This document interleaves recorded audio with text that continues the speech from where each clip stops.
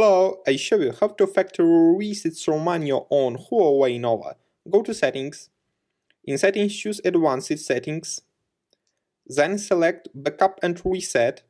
Now choose Factory Data Reset.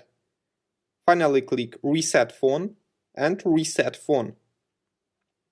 Your device will now restart. Successfully, the hard reset is completed now. Subscribe to our YouTube channel and rate the video.